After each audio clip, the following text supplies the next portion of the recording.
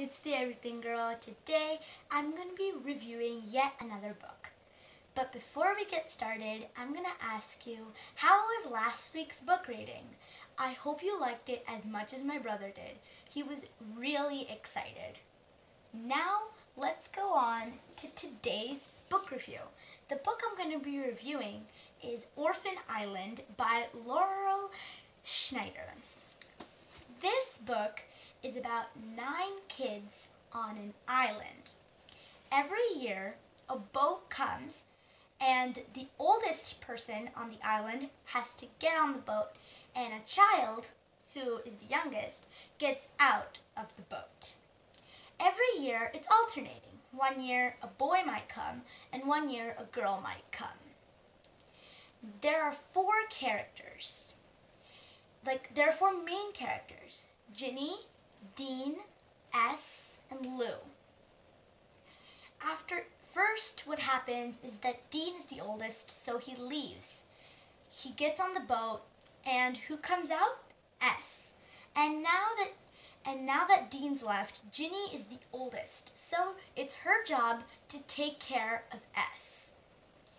She uh, throughout the book she takes care of Ess and teaches her about everything and um, ne- and in the next year, uh, the year passes, and now it's time for Jinny to get on the boat and for a new kid to come along.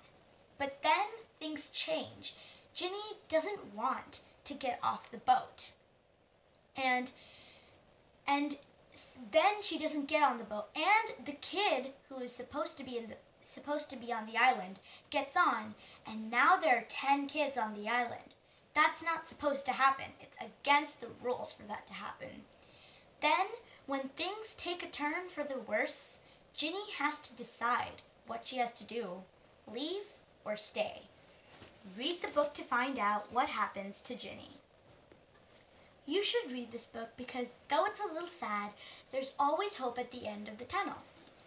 And um, I think it's a different approach to a storybook, and that's why I think you should read this book.